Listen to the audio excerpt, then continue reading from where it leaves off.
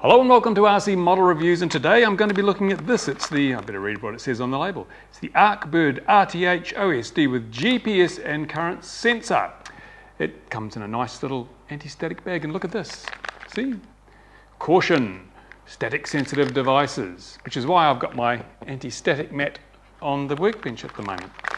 Now, let's have a look inside and see what you get for your money, which I forget how much it was, but I'll put the price well, I'll put a link to the product in the description on this video so you can go and have a look if you want to buy one. And this is just going to be basically what you get.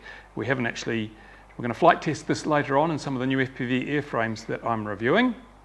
And have a look at the various constituent components first. So, this of course does the same sort of thing as the FY21 or 31 that I have I've reviewed the FY products earlier and I like them. They work really well.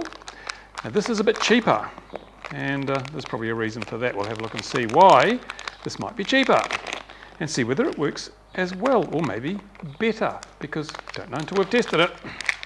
Let's get all the little bits and pieces out. They're all packaged separately but they certainly haven't gone overboard on flash packaging. Oh, there we go. Right, what have we got here? Um, we've got the main board. Here's the main board, and it's, a, it's actually two boards sandwiched together.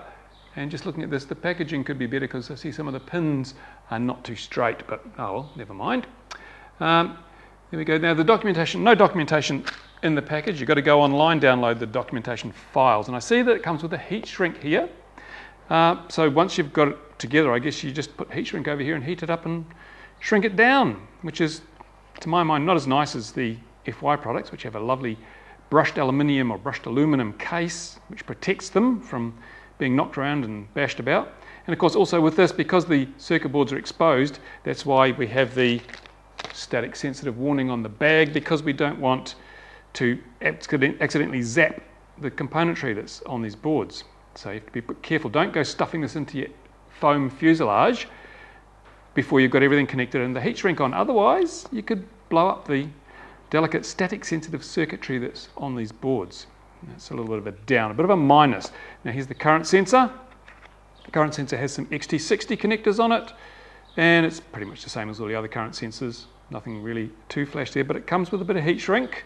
So I don't know why they don't just heat shrink it, because there's nothing you need to put on there that requires having access to the board. It's all just plug and play. It's got the XT60s and it's got a, a lead, which obviously is to connect up to the main system. And then we've got the GPS. It's a, quite a large patch, but it's, quite, it's a very thin GPS. And I see it even has an onboard battery to keep the almanac, which is like a list of where the satellites are. So it should take much less time to find the satellites when you turn it on after the first time when it updates its almanac. That's quite a good feature. And uh, it also means if you accidentally lose GPS hold during a flight, you'll get it back more quickly, which is important too. Now, little wire harnesses here, uh, rainbow cables. This is obviously for the receiver to the actual board, the servo connectors on each end, and then some miscellaneous connectors here. We think we've got one for the temperature sensor somewhere and other one for the G GPS, and this is a, probably a power lead that goes off to, I don't know what it does, but we'll look at the instructions and see how that works. So basically, here's your bits and pieces. It's, um, it's pretty straightforward. It's actually not that complex. This of course has the on-screen display, which I'll show you in a later video how that looks and the different options that are available in the on-screen display. It has gyros to give you stability, supposedly, so you can turn it into a stable mode and it will make sure your aircraft remains straight and level. It has return to launch, so if something goes wrong and you lose the radio signal or if you're just too lazy to fly back, you can flick a switch or the failsafe will kick in and it will fly back to where you launched it from, which I think is a wonderful safety feature for any FPV craft if you tend to fly at any distance. Certainly if you're going beyond visual line of sight, you should have return to launch. And I'll be showing you in a later video, one of my safety videos, how to set these things up and why it's important not just to assume that return to launch will always save you bacon because there are some issues with return to launch. You've got to plan ahead. Planning is a critical factor to the safe use of return to launch and to any long distance FPV flight actually. But that's it. That's what you get in the bag.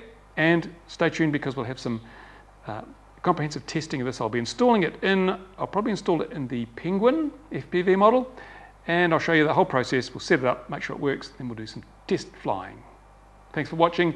Stay tuned for the next part of the FPV series on RC Model Reviews.